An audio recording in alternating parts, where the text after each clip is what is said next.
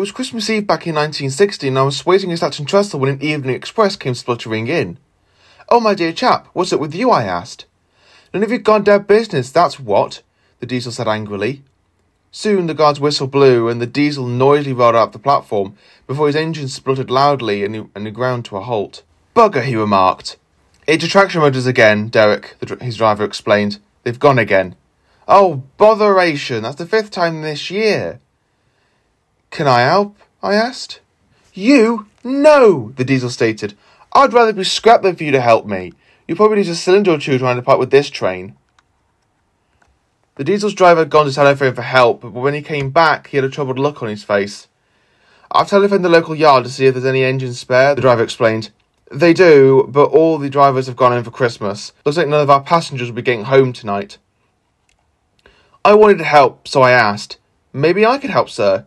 I've told you no, shouted the diesel angrily. Now go run off to the scrapyard, you pilt. Shut up, Derek. Yes, 4607. That'd be very helpful, thank you, the driver said with a newfound hope in his heart. And with permission granted from the signalman and control, I was soon cobbled up to Derek and his train. It wasn't long before the guard blew his whistle and we were off.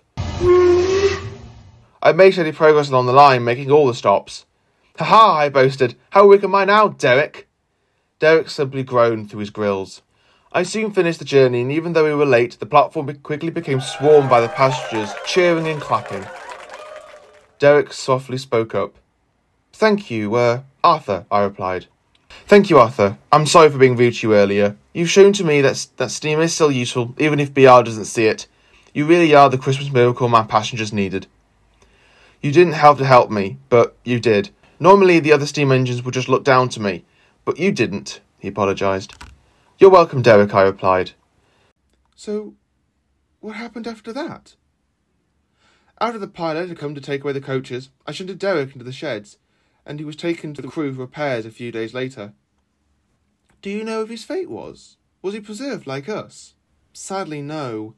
He worked until 2004 and then under the running number of 31113, but was later scrapped in 2008.